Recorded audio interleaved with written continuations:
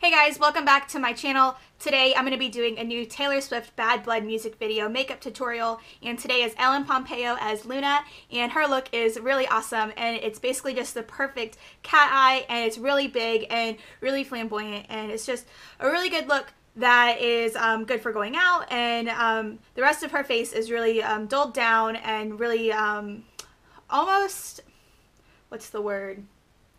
Um, it's natural but it's really understated. So um, that's the look I'm to be doing today. So let's go ahead and get So as you're watching this video, I'm on my way to Chicago with my best friend and my mom to go hang out in the city and see all the sights and the sounds and eat a lot of really good food and actually go and see One Direction at Soldier Field. And I'm really excited. So hopefully this video doesn't take up too much of your time today because I don't want to spend a lot of time filming it. So the first thing I'm to do is um, actually do my eyebrows because I've already done my base and all the concealer and all that good stuff.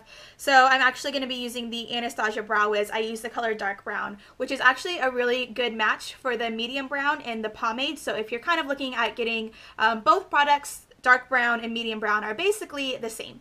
So I like this product because I can get a more fuller brow than I can with the pomade and it comes with one of these little spoolies on the end which is really nice. I'm actually, actually going to take this to Chicago with me because it's going to be better for traveling than the pomade is. I'm just filling in any gaps that I have. I'm really excited about Chicago because I flew into Chicago when I went to Wales last summer, but all we saw was O'Hare Airport.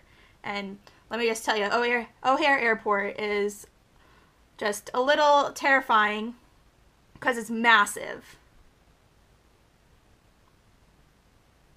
And there's so many people running around and you don't really know where to go. But lucky last summer I was actually with a group of friends going to Wales. So I wasn't alone like I was the first time I went to Wales and had to go through the Atlanta airport by myself.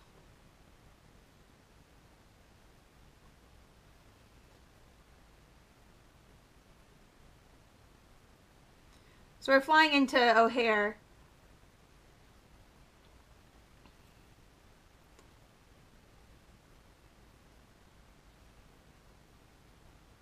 And then Friday, I think we're doing like a boat tour thing. And then on Friday also, we're, I know we're going to go to the signature bar that one of my mom's friends said was really good. And then we are, I think we're just going to hang out in our hotel because we get in in the afternoon, so we don't really have a lot of time.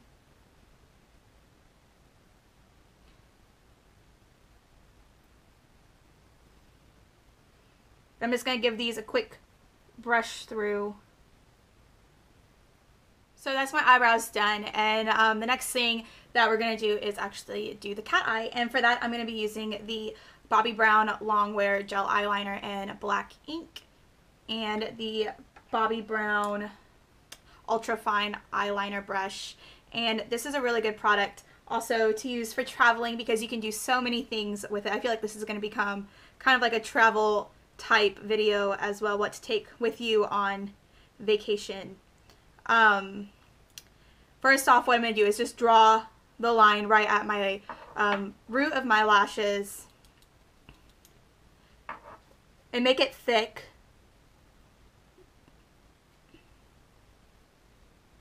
And it's okay if a little bit gets underneath. We can always clean that up later.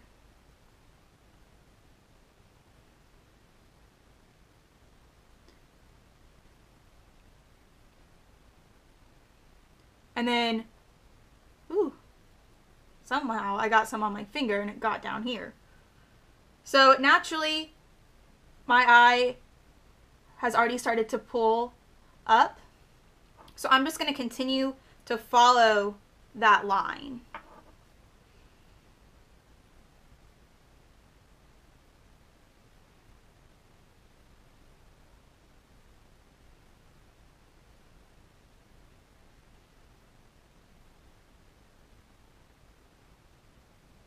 Just really working it right here into this corner as well because we don't want to have any of that kind of flesh color showing or any of that gap.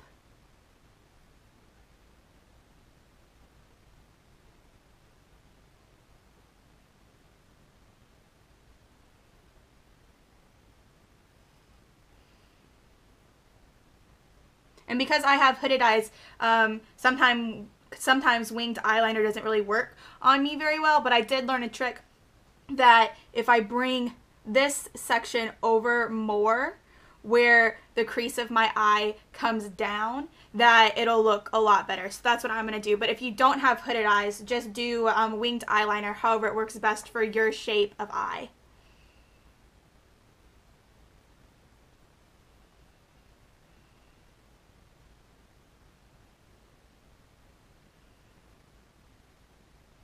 So that's my eyeliner done. And as you can see, um, the lines are really clean and I, I, didn't have to use any makeup remover because of the shape of the Bobbi Brown brush. It's got a really thin type point at the end and the brush is really flat.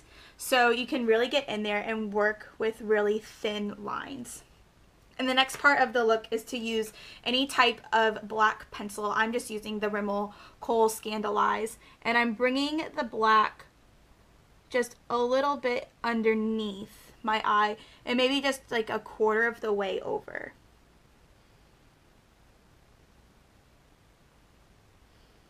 Just kind of smudging that right below the lash line and then putting a ton of mascara on. And my favorite right now is the Mally one. I've been using that in all of my videos recently. So if you're new here, welcome. Hi, my name is Megan. And if not, you have seen this mascara before and I love it.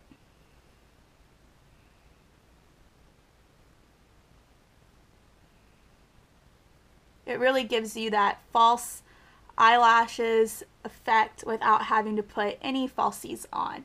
But if you want to put falsies on after mascara would be the time to do it. Like always, and definitely in the video, Ellen had on um, different layers of falsies, and you can definitely do that if you're into that. I personally am not, so I'm just going to stick with lots and lots of mascara. And then the last step is obviously lipstick, and for that I'm going to be using the Trustio L'Oreal Color Julianne's Nude and 620 is the color number and I've used this in a lot of videos before because most of the lip colors are nude. I'm just going to do it straight from the bullet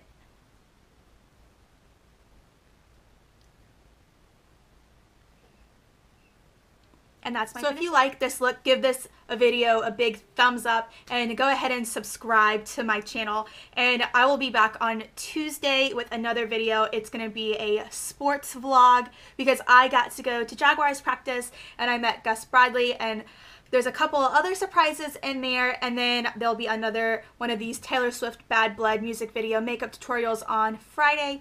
So I hope you guys have a great weekend. I know I'm going to in Chicago. So I'll see you guys really soon. Bye!